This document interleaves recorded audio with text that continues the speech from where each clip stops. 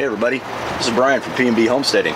Wanted to give the update for the salad bar LED area and uh, things be going pretty well, especially with the Silverado Chard. Let me grab the camera. Okay. So we haven't harvested any of the Silverado Chard since you last saw it. And it's really got some harvestable, nice looking greens on here. So this is going to be this week's mix. We're going to be taking and pulling this off getting a good harvest because we got a lot of crowding in here from these plants. So we're gonna have to thin this out quite a bit. That'll lessen that and we can have another harvest again off those. That's one thing I, I have to say I do like this Silverado chard because when you have the, the growing going, man, it just keeps giving and giving. We harvested off of the, uh, the salad mix over here. That's that mesclun uh, mustard salad greens. I harvested a bunch of that and had it in our salad this week, along with this beta salad mix and some of the beta salad mixes from the large grow tent.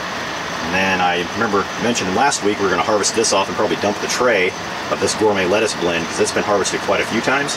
And I thought I'd harvest it off and I just let it kind of grow in here a little bit just to see what would come back. Because I don't really have anything to plant in here at the moment. So I thought, you know, I'll just give it one more week and just show that we actually did harvest it. And, you know, we had a couple of good salads off of that one.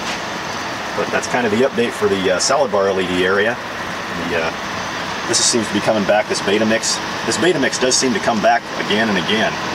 So I'm really happy with uh, growing that, and they have a lot of nutrients. If you eat a salad of that, you're really gonna, I mean, I don't know how to explain it.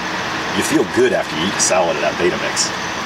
I mean, that, you know, it just, you feel like you just got a ton of nutrients dumped into your system. And I guess that, you know, you, you have irregularities in your bowels, that'll probably help you out. okay. I guess that's that's a, a TMI uh, statement there. okay. All right. Well, it's been Brian from P&B Homesteading. I'll talk to you guys again next week. All right. Have a Merry Christmas, everybody. Bye.